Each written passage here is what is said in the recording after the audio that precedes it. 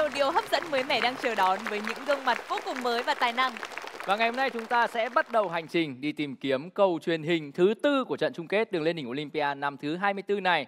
Và các bạn thí sinh tham gia trong cuộc thi tuần đầu tiên cũng sẽ có một trọng trách cao cả hơn một chút. Đó sẽ là mang đến sự khởi đầu và mang đến may mắn cho tất cả các thí sinh tham gia trong quý 4 này.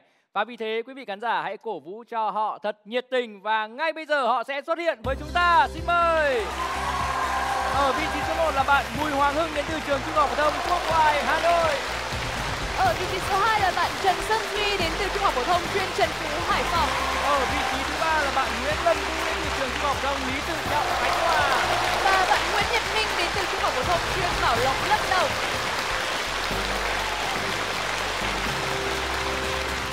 Hãy cùng làm quen với một chàng trai, bạn là Hoàng Hưng, quán quân Olympia trường đạt 7.0 IELTS. Tôi thấy ở đây có bạn là Nhật Minh là được giải nhì học sinh giỏi tỉnh môn tiếng Anh. Hai bạn có thể giao lưu bằng tiếng Anh với nhau được không ạ? Good afternoon. Good afternoon. Oh, so I think that you look a bit nervous. You look like a withering plant, so I think you need to be hydrated now. When you drink water, I think that uh, your mood will improve. I wish you could regain your mood and you will uh, have a lot of luck in this competition. Okay, thank, thank you. Khi mà mình cảm thấy lo lắng hồi hộp quá thì mình cũng hay tự khích lệ bản thân mình với một câu trong tiếng Anh là Smile and keep it fresh. Universe loves you and so do I. Hãy cười thật tươi và sảng khoái, vũ trụ yêu bạn và tôi cũng vậy. Nên là hãy bình tĩnh nhé Hoàng Hưng. À, Nhật Minh có cách nào để chúng ta học từ vựng, ghi nhớ từ vựng tốt hơn không? Dạ, thường thì em sẽ dùng flashcard. Em sẽ bỏ từ vựng vào đó rồi à, bỏ nghĩa hoặc đôi khi là thay vì nghĩa thì em sẽ bỏ vào một cái à, ngữ cảnh để em nhớ được nghĩa của từ. Dạ, ví dụ như từ humidity có nghĩa là độ ẩm. Em đã ký hiệu bằng à, ký tự là giọt nước thì nó sẽ biểu thị về độ ẩm. Đến đây thì em cũng có một món quà đặc sản của Bảo Lộc em Chè và cà phê dành tặng cho hai chị MC và các bạn cùng chơi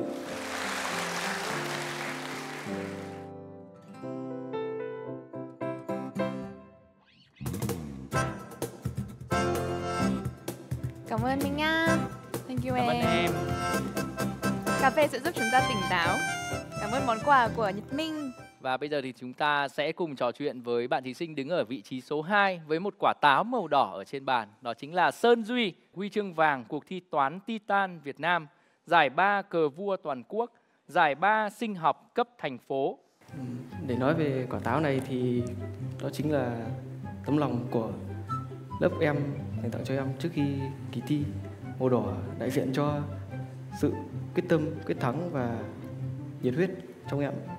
Quả táo này sẽ giúp em có thêm động lực để ừ, làm hết sức mình. Có rất nhiều thứ màu đỏ nhưng mà tại sao lớp bạn lại chọn quả táo ạ? Có lẽ là vì em thích ăn táo. À, đấy, đáng đấy, yêu đấy. mà. Đây là điểm mấu chốt. Ở ngay cạnh Sơn Duy đó là Lâm Vũ, người có thể giới thiệu bản thân mình bằng 3 tiếng vùng miền khác nhau. nếu mà chỉ giới thiệu bản thân thì nó cũng có một bao nhiêu đấy nội dung thôi cho nên là em muốn um, hai anh chị đặt cho em một số cái câu hỏi và yêu cầu em sử dụng giọng gì và em sẽ làm trả lời cái câu hỏi đó bằng giọng đó Được. Rồi câu hỏi đầu tiên là anh nhận thấy là từ nãy em cứ đứng em vừa đứng em vừa lắc lư lắc lư lắc lư thế này. Đó có phải là thói quen của em không trả lời bằng giọng miền Nam? từ nãy đến giờ em không hiểu vì sao mà chân em rất là run và thậm chí nó run từ sáng đến giờ luôn nhưng mà khi em kiểu thay vì em đứng yên một chỗ em um, cử động qua lại thì em cảm thấy nó đỡ run và em cũng thoải mái hơn Người ta thường nói là những người mà không thể đứng yên một chỗ là thường rất thông minh và IQ cao. Thì theo em đánh giá bản thân mình thì mình thông minh ở khía cạnh nào nhất? Bằng tiếng Bắc. Ờ, dạ đối với em thì em ờ, không biết rõ là em thông minh ở cái khía cạnh nào nhất thì em đoán là ngôn ngữ tại vì kiểu em có thể dựa vào cái ngữ cảnh để em đoán là cái chỗ đấy nó cần cái từ gì trong những cái bài tập điện từ hay. Ừ, tôi thấy là bạn là một người không ngừng hoạt động. Ở bằng chứng đây là bạn từng giơ tay phát biểu tới 50 lần một tuần. Bạn có thể nói gì về điều này bằng tiếng miền Trung cực nặng? dạ kỹ năng thì em cũng không chắc em chỉ có thể nói được như thế này thôi về cái vấn đề phát biểu thì kiểu khi mà giáo viên đặt câu hỏi thì em thấy em biết và em muốn trả lời thì em cứ giơ tay lên trả lời thôi Thôi, rửa ta chơi hay. dạ ok chị Vâng, như vậy là chúng ta đã được trò chuyện với bốn thí sinh tham gia trong chương trình ngày hôm nay rồi và chắc chắn là họ đã rất sẵn sàng để đến với những câu hỏi đầu tiên trong phần thi khởi động. Chúc các bạn thành công. Thần Hoa Newton Ấn Độ, Tám ạ. Hậu Giang, Tiền Giang. Bạn có thêm 10 điểm. Bốn câu trả lời đúng. Yes. Cố lên.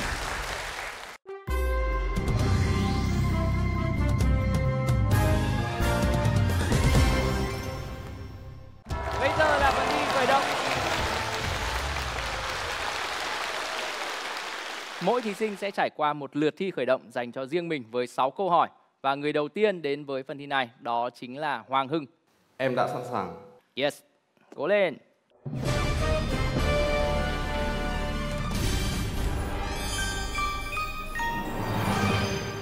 Trên các máy tính bỏ túi thông dụng phím log và LN để tính giá trị gì? Ờ, logarit ạ.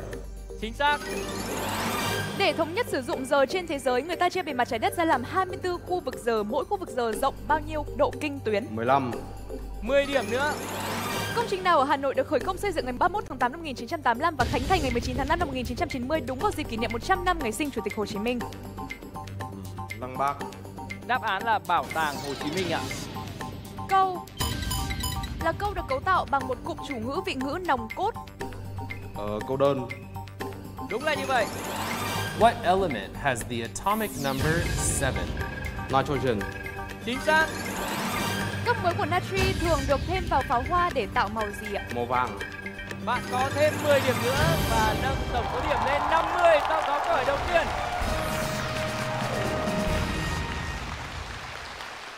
Ngay sau đây sẽ là 6 câu hỏi dành cho Sơn Duy. Chiến lược chiến tranh đặc biệt của đế quốc Mỹ ở miền Nam Việt Nam diễn ra trong giai đoạn từ năm 1961 đến năm nào? 1965 10 điểm đầu tiên ạ. Số vô tỷ được viết dưới dạng số thập phân vô hạn. không tuần hoàn Chính xác. Hãy cho biết hai thân trong câu ca dao sau chỉ những ai yêu nhau như thể tay chân anh em hòa thuận, hai thân vui vầy. bố mẹ Bạn có thêm 10 điểm. In the English alphabet, what letter comes before the letter K? L J. Trên đỉnh của cây cầu nào ở Hải Phòng có gắn ba bông hoa phượng đỏ bằng thép biểu tượng của thành phố? Hoàng Văn Thụ Câu rào một ạ. Là ánh sáng không bị tán sắc mà chỉ bị lệch khi đi qua lăng kính. ánh sáng đơn sắc Bạn đã kịp thêm cho mình 10 điểm. Sau phần thi vừa rồi thì Sơn Duy đã có 40 điểm. Xin chúc mừng bạn.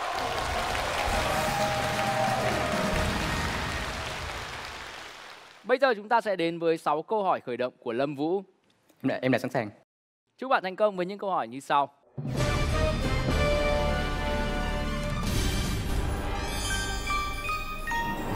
Những câu thơ sau gợi nhớ đến những hình ảnh của dòng tranh truyền thống nào? Mẹ con đàn lợn âm dương chia lìa đôi ngả. Đám cưới chuột đang tưng bừng rộn rã, bây giờ tan tác về đâu? đồng hồ Đúng vậy. How many kilograms are in one quintal? 10,000 100. Tổ tiên của các sinh vật đơn bào nhân thực là các tế bào. Nhân nhân sơ Chính xác. Lầu ông Tư là tên gọi quen thuộc của người dân Nha Trang Khánh Hòa dành cho ngôi nhà của nhân vật lịch sử nào? nhà sen Diệp Xanh. Ai là người cho xây dựng thành An Tôn vào cuối thế kỷ 14 Lý Linh. ạ? Chính xác. Thuật toán Euclid là thuật toán thông dụng được dùng để tìm lớn nhất. đường đi Đáp án là ước chung ạ. Và đó là 6 câu hỏi đầu tiên dành cho Lâm Vũ và bạn đang giành được 40 điểm.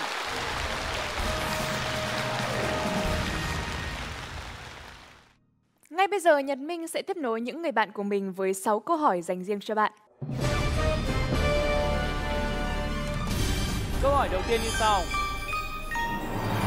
Cách xác minh mối quan hệ huyết thống chính xác nhất hiện nay là gì? Ờ, xét nghiệm ADN. 10 điểm đầu tiên ạ. Trước đây hệ thống sông Cửu Long có 9 cửa đổ ra biển gồm 6 cửa thuộc sông và 3 cửa thuộc sông. Hậu Giang, Tiền Giang. Tiền, hậu. Đường thẳng đi qua trung điểm một cạnh tam giác và với cạnh thứ hai thì đi qua trung điểm cạnh thứ ba. Song song. Một câu trả lời đúng ạ. Chàng và thiếp trong hai câu lấy thần chàng đổi móng lông ngỗng thiếp đưa đường là nhắc tới hai nhân vật nào? Mỹ Châu Trọng Thủy. Bạn có thêm 10 điểm. What is the largest country in the world by landmass? Russia. Correct. Điểm nhấn kiến trúc của quảng trường Lâm Viên Đà Lạt là hai khối nhà được lấy cảm hứng từ hoa và nụ hoa. Lan và Atiso. Dã quỳ và Atiso ạ. Và đó là phần thi khởi động dành cho Nhật Minh. Bạn đã có 4 câu trả lời đúng. Bây giờ thì bốn chàng trai của chúng ta sẽ đến với một phần thi khởi động chung gồm có 12 câu hỏi. Chúc các bạn thành công.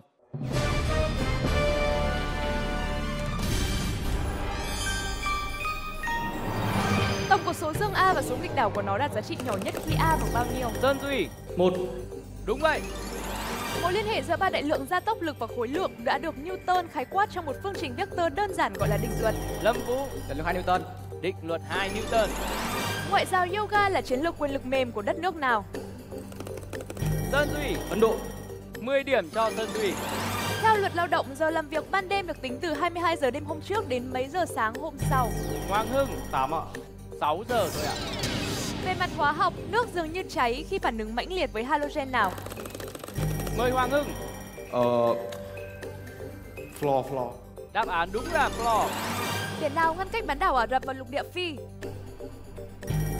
Sơn Duy, bên đó biển đỏ. PCR là kỹ thuật mô phỏng quá trình tái bản trong điều kiện nhân tạo. Lâm Vũ, RNA ADN ạ. Khi soạn email để gửi email cho nhiều người cùng lúc mà người nhận sẽ không thể nhìn thấy danh sách những người nhận khác, ta nhập địa chỉ email của những người nhận đó trong phần. BCC hay BCC? Dòng tranh nào sử dụng sơn ta cùng một màu vàng bạc vẽ nhiều lớp trên tấm vóc sau khi khô được mài đi? Hoàng Hưng, Ờ Dòng tranh ờ, Sơn Mài 10 điểm cho Hoàng Hưng. Ngoài cờ tướng, Tế Hanh còn nhắc đến môn thể thao nào trong hai câu thơ thuở xưa? Hăm hai đứa, cờ tướng nay anh đánh một mình. Lâm Vũ, Hoàng Quang bóng đá. Who is the author of the famous poem Luom, which was composed in 1949? Chính xác. Văn minh phù Nam hình thành trên lưu vực châu thổ sông với hệ thống sông ngòi kênh rạch chằng chịt đổ ra biển. Lâm Vũ, Mê Công một câu trả lời điểm 10. Và như vậy là bốn chàng trai của chúng ta đã trải qua 5 lượt thi khởi động và hãy cùng xem ai đang có lợi thế về mặt điểm số. Đang sở hữu 40 điểm là Nhật Minh, 50 là điểm số của Lâm Vũ, đang sở hữu 65 điểm là Hoàng Hưng và dẫn đầu với 80 điểm là Sơn Duy.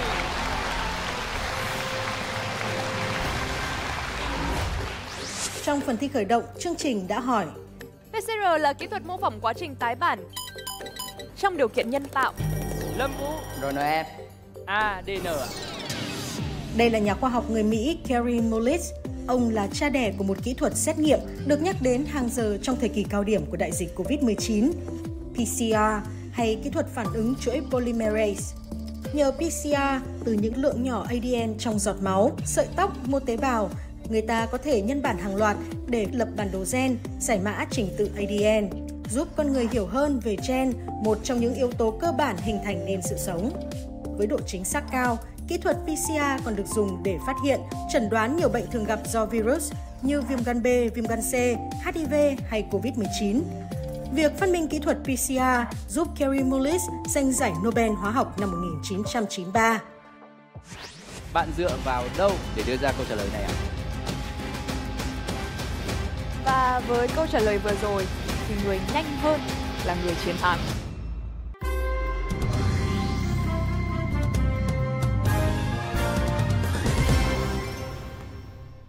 Bây giờ là phần thi vượt chướng ngại vật. Các bạn hãy cùng nhau tìm ra một ẩn số gồm có 3 chữ cái để vượt qua chướng ngại vật ngày hôm nay. Và bốn từ hàng ngang gợi ý cho các bạn đã rõ. Người đầu tiên lựa chọn một từ hàng ngang, xin mời Hoàng Hưng. Ờ em xin lựa chọn hàng số 4 Hàng ngang số 4 gồm có 5 chữ cái. Hợp chất là hợp chất của carbon trừ CO, CO2, muối carbonat, cyanua các bua.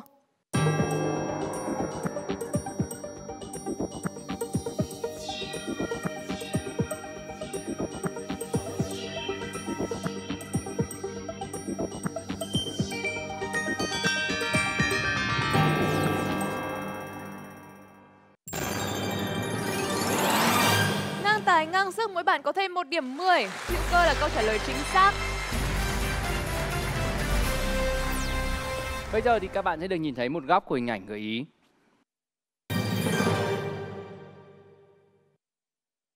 Người tiếp theo lựa chọn một từ hàng ngang, xin mời Sơn Duy. Em sẽ chọn hàng ngang thứ nhất. Hàng ngang thứ nhất gồm có 7 chữ cái với câu hỏi như sau. Phản ứng hóa học trong đó một chất sinh ra hai hay nhiều chất mới được gọi là phản ứng.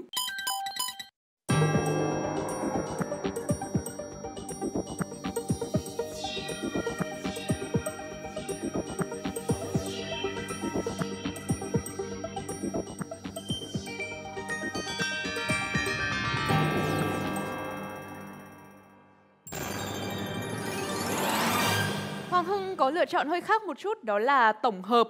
Tuy nhiên phân hủy mới là câu trả lời chính xác. Xin mời Hoàng Hưng. Câu trả lời của em là nấm. Hoàng Hưng có vẻ rất quả quyết với câu trả lời là nấm của mình. Bạn dựa vào đâu để đưa ra câu trả lời này ạ? Em nghĩ nấm có khả năng ờ, phân hủy được ờ, rất nhiều hóa chất. Tất cả hàng ngang số 1 nó là hữu cơ thì em nghĩ nó là một loại chất hữu cơ. Hoàng Hưng có vẻ không chắc chắn lắm. Bạn đã đưa ra quyết định của mình rồi. Phần chơi của Hoàng Hưng ở phần thi vừa chứng ngại vật đã dừng lại. Và nó chỉ còn dành cho ba bạn thí sinh còn lại mà thôi. Mong là Hoàng Hưng sẽ quay trở lại mạnh mẽ hơn nữa ở những phần thi sau. Và chúc mừng cả ba bạn thí sinh Sơn Duy, Lâm Vũ, Nhật Minh. Mỗi bạn có thêm một điểm 10 với câu trả lời chính xác là phân hủy.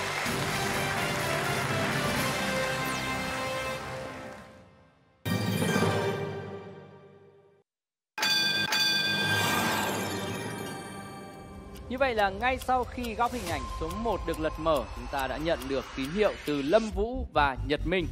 Xin mời Lâm Vũ. Câu trả lời của em là rác. Thế còn Nhật Minh thì sao ạ? Dạ em cũng là rác. Hai câu trả lời giống hệt nhau, tuy nhiên chỉ cách nhau có một chút xíu giây thôi. Vì sao lại là rác ạ? À, theo em thì rác thì có loại là rác thải hữu cơ và rác thì nó dễ bị phân hủy. Và với câu trả lời vừa rồi thì người nhanh hơn là người chiến thắng. Chúc mừng Lâm Vũ, đang là câu trả lời chính xác. Trong phần thi vượt chướng ngại vật ngày hôm nay chúng ta nhắc tới rác. Với sự phát triển của xã hội thì chất thải hay rác sinh ra ngày càng nhiều hơn. Rác sinh hoạt là loại rác gần nhất với đời sống. Ngoài ra thì còn có một số loại rác khác như là rác công nghiệp, rác thải y tế vân vân. Rác cần được phân loại và tái chế. Rác thải sinh hoạt thì được ờ, phân chia ra thành 3 loại và không biết là Lâm Vũ có biết là những loại nào không ạ? À, theo em là rác thải hữu cơ, à, rác vô cơ và rác không phân hủy. Ờ, Rác tái chế.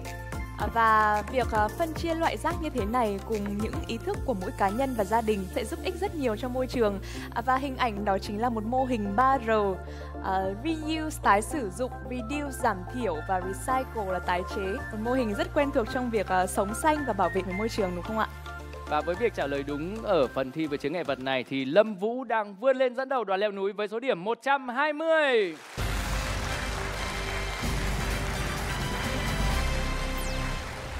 Các bạn thí sinh còn lại hãy bình tĩnh bởi vì phía trước các bạn bây giờ sẽ là phần thi tăng tốc với rất nhiều những điểm số cao. Thế nhưng trước khi đến với phần thi này, hãy cùng tổng kết số điểm các bạn đang có. Nhật Minh đang có 60 điểm, 75 là điểm số của Hoàng Hưng, đang tới 100 điểm là Sơn Duy và dẫn đầu là Lâm Vũ với 120 điểm. Em có ghi cái đáp án ra rồi nhưng mà em lại có vẻ như là hơi sao nhãng một tí cho nên là đã bấm chậm. Nhưng mà không sao em sẽ cố gắng vào những phần thi tiếp theo. Ờ, em cảm thấy khá là bình thường nhưng mà đồng thời em cũng tiếc vì em bị ờ, mất điểm ở cái hàng ngang ờ, thứ nhất. Em thấy bạn ờ, Sơn Duy là một người rất là mạnh về tốc độ cho nên là ờ, em sẽ cố gắng hết sức để làm tốt nhất. Em cảm thấy không có lo lắng bởi vì thực ra điểm số của em cũng đang đứng thứ hai toàn đoàn và phần thi tốc em sẽ có thể bứt phá lên và nên lên vươn lên dẫn đầu đoàn lên núi. Hãy tập trung cao độ, thể hiện bản thân mình một cách rõ ràng nhất. Hơn nhau ở tốc độ. Ờ, em lụi ạ.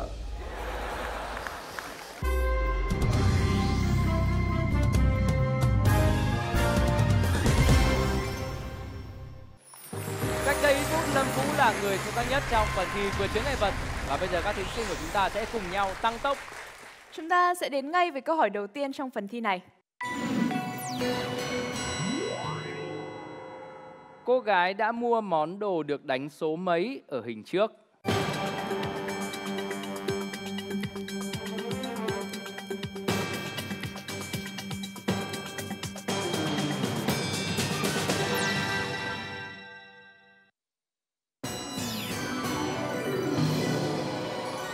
Giành được 40 điểm là Sơn Duy, Lâm Vũ có thêm 30 điểm, 20 điểm thuộc về Hoàng Hưng và Nhật Minh có thêm 10 điểm. Cả bốn bạn đều đưa ra câu trả lời chính xác là món đồ số 2. Câu hỏi số 2 có nội dung như sau. Sắp xếp các bộ phận với vị trí đánh số tương ứng trong sơ đồ cấu tạo dynamo xe đạp.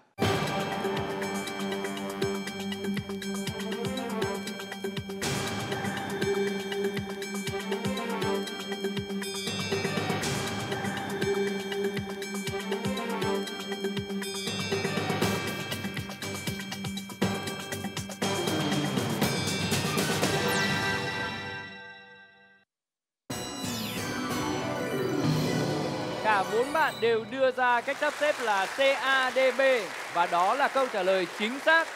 Lâm Vũ có thêm 40 điểm, 30 điểm thuộc về Hoàng Hưng, Sơn Duy có 20 điểm và Nhật Minh sở hữu thêm 10 điểm. Chúng ta sẽ đến với câu hỏi số 3 trong phần thi tăng tốc với nội dung như sau. Dựa theo số lượng tam giác trong các hình, hãy tìm hình thích hợp điền vào dấu hỏi chấm.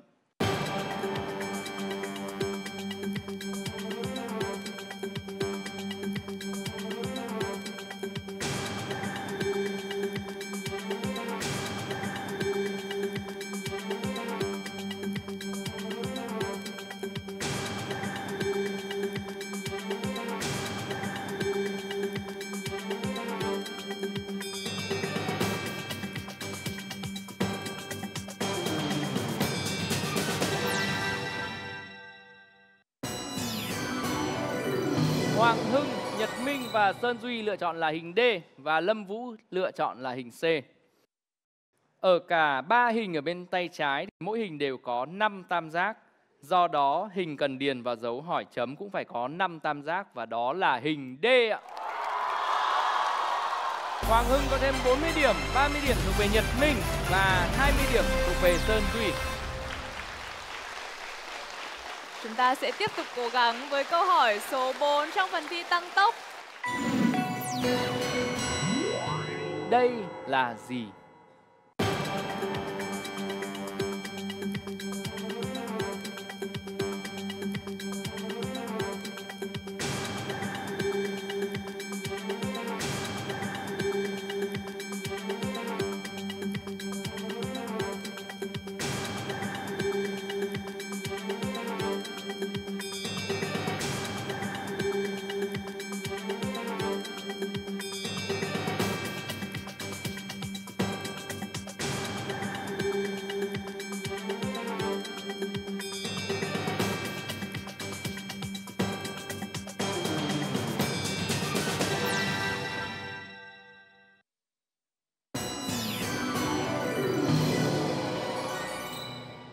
Vậy Lâm Vũ là người trả lời nhanh nhất ở 8 giây 94 với câu trả lời là thận. Bạn có 40 điểm, 30 điểm thuộc về Hoàng Hưng, Tân Duy có 20 điểm và Nhật Minh có thêm 10 điểm. Ba phần thi đầu tiên đã qua đi và số điểm của các bạn đang bám khá sát nhau và vì thế là phần thi về đích sẽ là một phần thi rất khó đoán. Trước khi đến với phần thi này chúng ta hãy cùng tổng kết số điểm mà cả bốn bạn đang có. Nhật Minh có 120 điểm, 195 là điểm số của Hoàng Hưng, đang có 200 điểm là Sơn Thủy và dẫn đầu với 230 điểm là Lâm Vũ.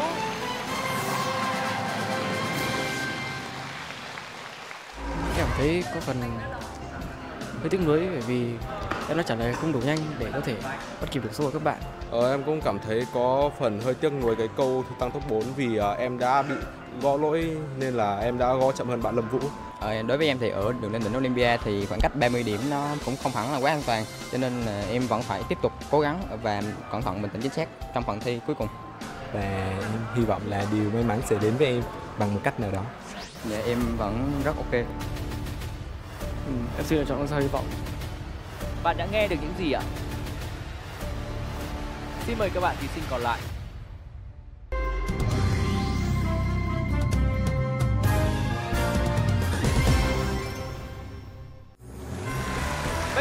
Là phần thi quyết định về đích. Số điểm các bạn thí sinh đang có lần lượt là 195, 200, 230 và 120. Căn cứ vào số điểm này thì người đầu tiên đến với phần thi về đích đó chính là bạn Lâm Vũ.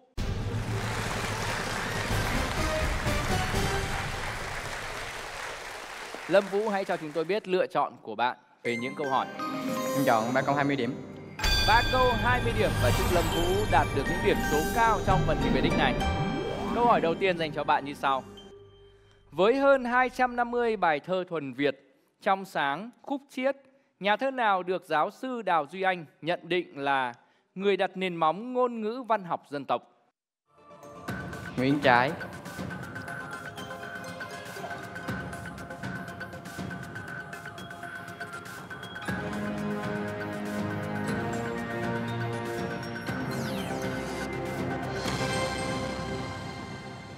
Ở trong câu hỏi này chúng tôi đang muốn nhắc tới người đặt nền móng ngôn ngữ văn học dân tộc với tập thơ Quốc âm thi tập Đại Thi Hào Nguyễn Trãi. Vũ đang càng thêm củng cố vị trí tạm dẫn đầu của mình. Chúng ta sẽ đến với câu hỏi có nội dung như sau ạ. Trong thế kỷ 21, tới nay đã có 3 bệnh dịch nguy hiểm ở người, được ghi nhận là do các loại virus thuộc chủng coronavirus gây ra, trong đó có MERS, hội chứng hô hấp Trung Đông và hai bệnh dịch nào nữa? SARS và Covid-19.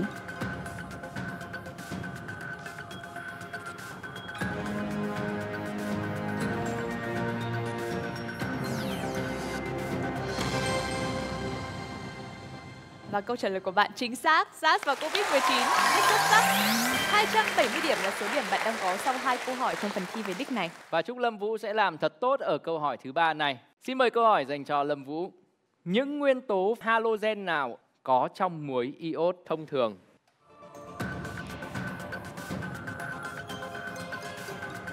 Oxy, iốt. Clo.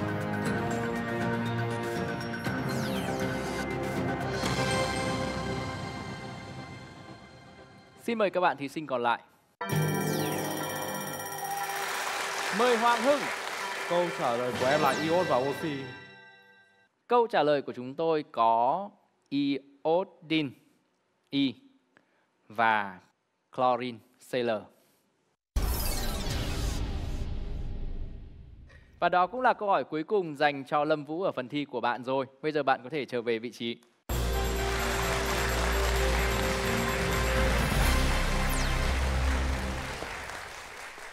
Sơn Duy với điểm số 200 là người tiếp theo bước vào phần thi về đích. Mời bạn.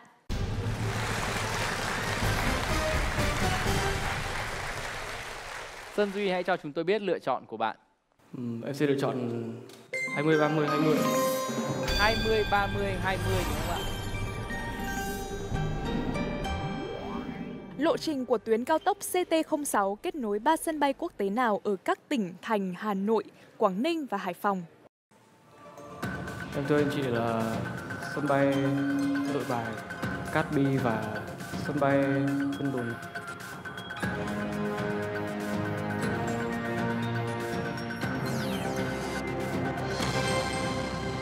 Với câu trả lời vừa rồi thì bạn đã có thêm 20 điểm.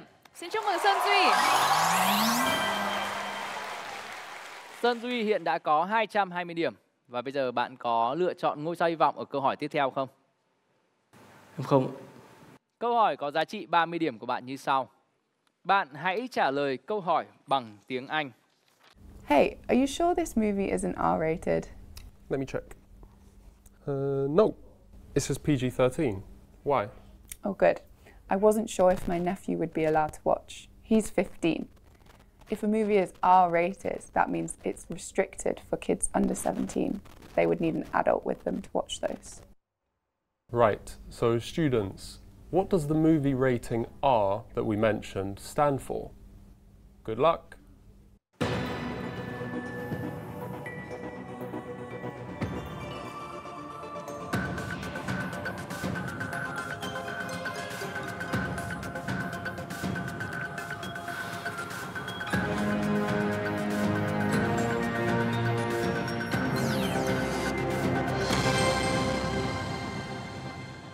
Xin mời các bạn thí sinh còn lại.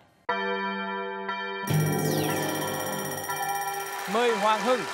Ờ, câu trả lời của em là parental guidance. Bạn đã nghe được những gì ạ?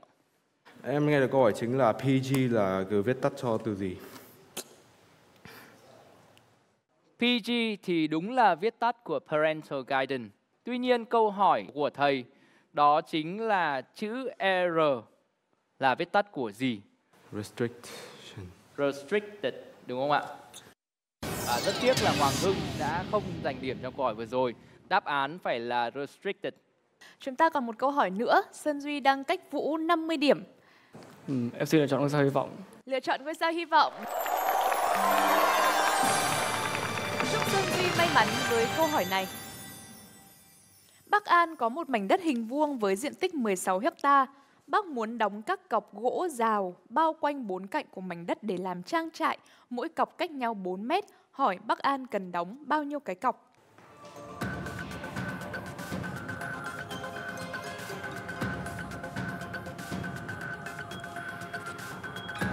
Câu trả lời của em là 1596.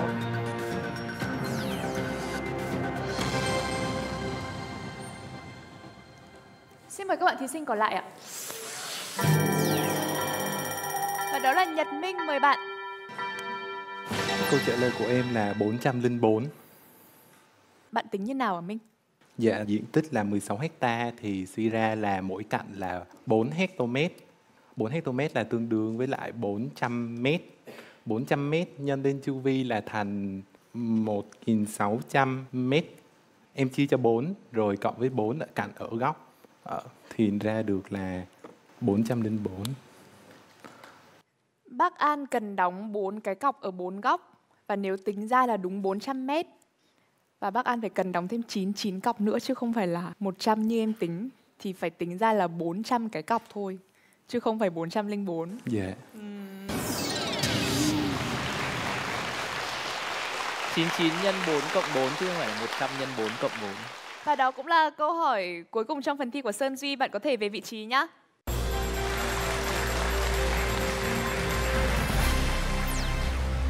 Người tiếp theo đến với phần thi về đích đó chính là Hoàng Hưng và xin mời bạn tiến lên phía trước.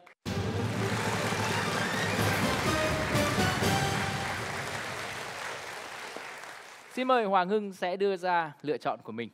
Ờ, em xin lựa chọn 30, 20, 20. 30, 20 và 20. Chúc bạn thành công. Bạn hãy trả lời câu hỏi của nhóm phóng viên Olympia. Xin chào quý vị khán giả và các bạn học sinh. Tôi đang có mặt tại di tích lịch sử Sở Chỉ huy Chiến dịch Điện Biên Phủ đặt tại Mường Phăng của Quân đội Nhân dân Việt Nam. Và đây là khu vực lán ở và làm việc của một vị tướng nổi tiếng trong chiến dịch. Ông là một trong 34 đội viên đầu tiên của đội Việt Nam tuyên truyền giải phóng quân. Ông là tổng tham mưu trưởng đầu tiên của quân đội ta, tham mưu trưởng chiến dịch Điện Biên Phủ, trực tiếp chỉ huy công tác tham mưu tác chiến tại mặt trận, góp phần quan trọng vào chiến thắng Điện Biên Phủ. Đại tướng Võ Nguyên Giáp đánh giá về ông như sau. Ông là vị tướng trận mạc, sống nhân hậu, tình nghĩa được quân đội ta và nhân dân ta mến phục. Tôi có một câu hỏi dành cho các bạn như sau. Các bạn hãy cho biết tên của vị tướng mà chúng tôi đang muốn nhắc đến ở đây. Chúc các bạn thành công. Câu trả lời của em là tướng Lê Trọng Tấn.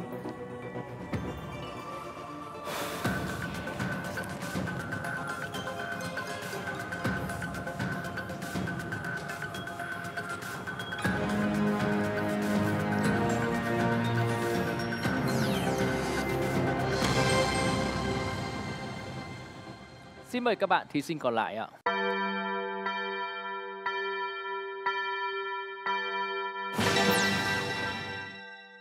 Ở trong câu hỏi vừa rồi chúng tôi đang muốn nhắc tới tham mưu trưởng chiến dịch Điện Biên Phủ, Đại tướng Hoàng Văn Thái ạ. Chúng ta sẽ tập trung vào hai câu hỏi sắp tới có giá trị 20 điểm cho mỗi câu hỏi. Câu hỏi tiếp theo dành cho bạn như sau. Trong môn võ judo, khi một võ sĩ thực hiện động tác vật ngã ném đối thủ, ngoài giữ tư thế thăng bằng, võ sĩ đã lấy đối thủ làm điểm tựa và thực hiện nguyên lý vật lý nào? Câu trả lời của em là nguyên lý đòn bẩy.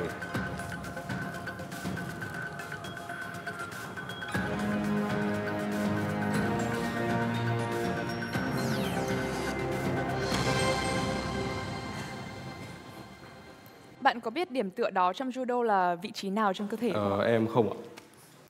Ở vị trí hông ép sát với đối phương khi mà ra đòn ấy ạ. Và câu trả lời đòn bẩy là câu trả lời chính xác. Chúc mừng bạn. Hoàng Hưng sẽ còn một câu hỏi có giá trị 20 điểm nữa. Bạn có muốn lựa chọn ngôi sao hy vọng không? Ờ, em sẽ chọn sau. Ngôi sao hy vọng dành cho Hoàng Hưng.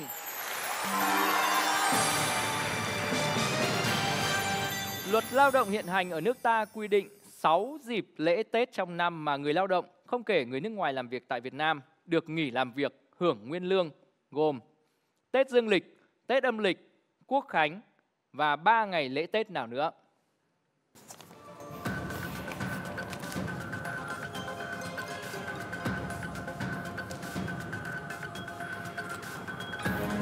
Dỗ tổ Hùng Vương.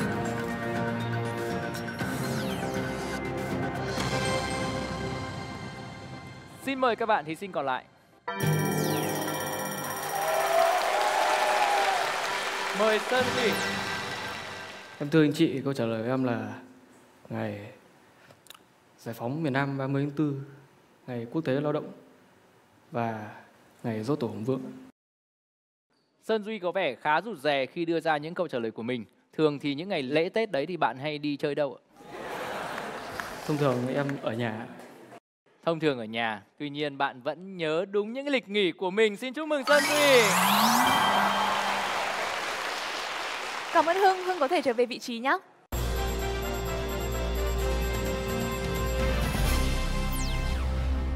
Nhật Minh cũng đã sẵn sàng rồi và chúng ta chỉ còn 3 câu hỏi trong cuộc thi ngày hôm nay thôi. Hãy cổ vũ cho Nhật Minh ạ. Xin mời bạn.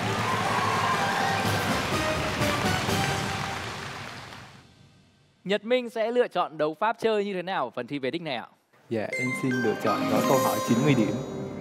90 điểm tức là 3 câu 30, rất quyết tâm.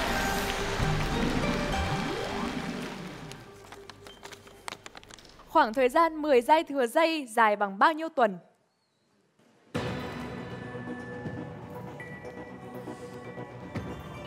Dạ, 6 tuần ạ.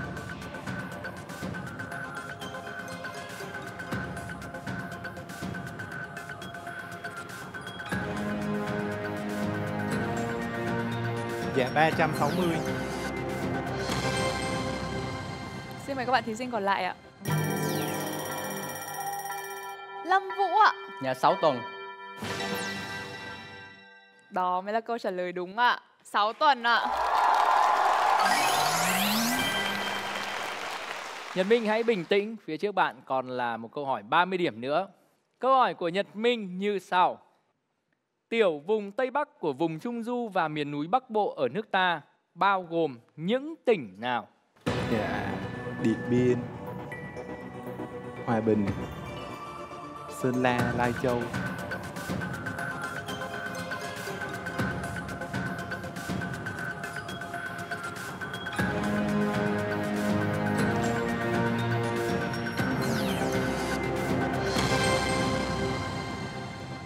Bạn có nghĩ ra thêm tỉnh nào nữa không ạ? Dạ không.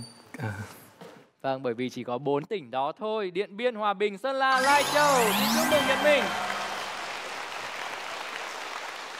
dạ, em xin lựa chọn ngôi sao hy vọng. Ngôi sao hy vọng ở câu hỏi cuối cùng trong cuộc thi ngày hôm nay. Chúng tôi rất thích tinh thần thi đấu của bạn Nhật Minh. Khi thay thế thành phần hoặc bổ sung một số nguyên liệu so với quá trình sản xuất thủy tinh thông thường, ta sẽ thu được các loại thủy tinh có tính chất đặc biệt và ứng dụng riêng. Ví dụ thủy tinh borosilicat được dùng làm dụng cụ thí nghiệm ở nhiệt độ cao, dụng cụ nấu ăn, kính đèn pha ô tô. Vậy còn loại thủy tinh nào được dùng làm dụng cụ thí nghiệm, thấu kính, lăng kính và loại thủy tinh nào được dùng để chế tác thành đồ trang trí nội thất, quà lưu niệm? Dạ là thủy tinh pha lê và thủy tinh cường lực.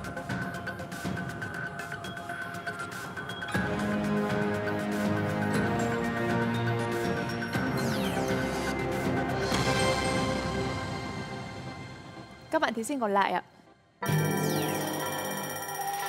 Xin mời Hoàng Hưng. Ờ, câu trả lời của em là thủy tinh hữu cơ và thủy tinh pha lê. Sau khi kiểm tra câu trả lời hai bạn với ban cố vấn, câu trả lời chính xác là thủy tinh kali và thủy tinh pha lê ạ.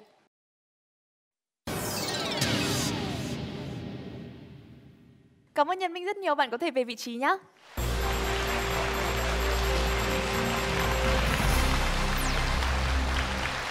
Và như vậy là bạn Lâm Vũ là người đầu tiên giành được vòng nguyệt quế của quý này với số điểm rất tròn 300. Và hãy cùng tổng kết số điểm của bốn chàng trai sau những phần thi vừa rồi. Tuy có một chút lo lắng căng thẳng, tuy nhiên bạn cũng đã thể hiện vô cùng xuất sắc. Hoàng Hưng với 155 điểm đến từ trường Trung học phổ thông Quốc Oai Hà Nội. Bạn Trần Sơn Duy đến từ trường Trung học phổ thông chuyên Trần Phú Hải Phòng giành được số điểm 220. Một số điểm cao chót vót và tròn chỉnh đó là Lâm Vũ đến từ Trung học phổ thông Lý Tự Trọng Khánh Hòa và là người chiến thắng trong cuộc thi ngày hôm nay. Và Nguyễn Nhật Minh đến từ trường Trung học phổ thông chuyên Bảo Lộc Lâm Đồng giành được số điểm 80.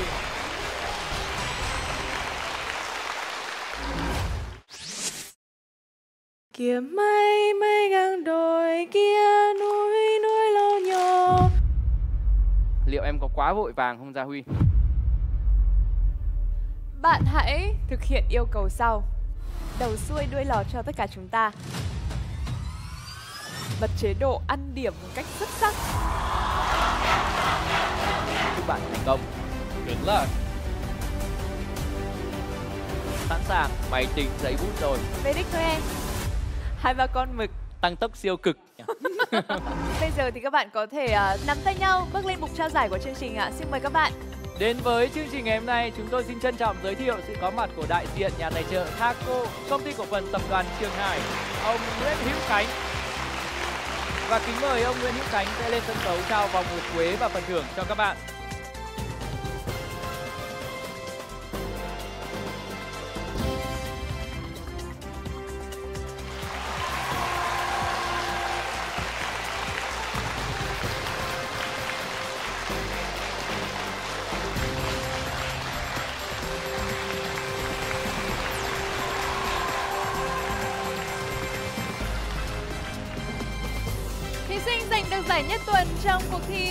Một phần thưởng trị giá 10 triệu đồng đến từ nhà tài trợ Thaco, công ty cổ phần tập đoàn Trường Hải. Xin chúc mừng bạn Lâm Vũ. Vâng, xin cảm ơn ông Nguyễn Hữu Khánh. Như vậy là hành trình đầu tiên của quý 4 đường lên đỉnh Olympia năm thứ 24 đã kết thúc rất tốt đẹp với một số điểm tròn chính 300 của người giành được vòng nguyệt quế của chương trình ngày hôm nay. Đó chính là Nguyễn Lâm Vũ đến từ trường Trung học phổ thông Lý Tự Trọng, Khánh Hòa. Xin chúc mừng cả bốn chàng trai đã có một chặng đường đáng nhớ tại chương trình đường lên đỉnh Olympia. Trong cuộc thi thì các bạn đã thể hiện được sự ờ, thi đua và tính cạnh tranh. Tuy nhiên khi hết chương trình rồi thì các bạn có một chút nét nhường nhịn lẫn nhau và chúc cho tình cảm bạn bè này sẽ ngày càng bền chặt. Cảm ơn quý vị khán giả đã quan tâm theo dõi và đây là chương trình đường lên đỉnh Olympia năm thứ 24 quý vị khán giả. Em cảm thấy rất là vui vì đã hoàn thành phần thi của mình. Dạ, em cảm thấy đó là uh, hạnh phúc bởi vì đây là vòng nguyện đầu tiên và em uh, sẽ cố hết sức để thể hiện tốt nhất trong trận thi tháng sắp tới.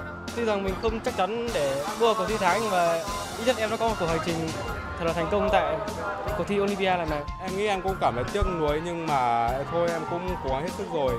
Nên là em vẫn sẽ coi đây là những kỷ niệm đẹp và một cái trải nghiệm mà em sẽ không bao giờ quên được.